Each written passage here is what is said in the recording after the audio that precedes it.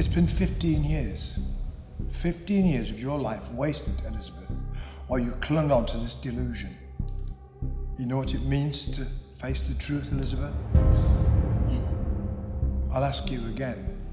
Did your sister, Margaret Pike, murder your mother? No. Where to, ladies? Dartmoor House, please. Oh, Lizzie, I'm so happy you're coming home.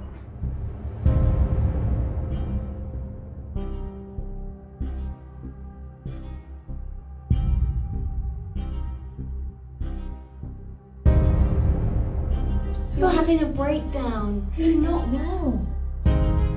Perhaps being back in the environment where her trauma began has caused a fight with her inner demons.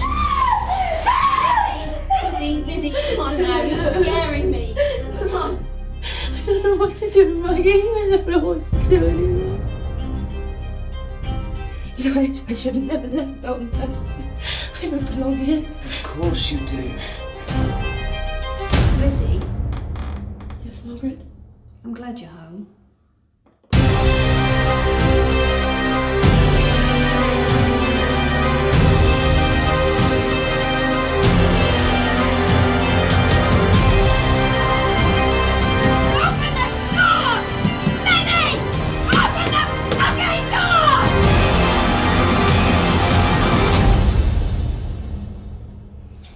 I feel closer already.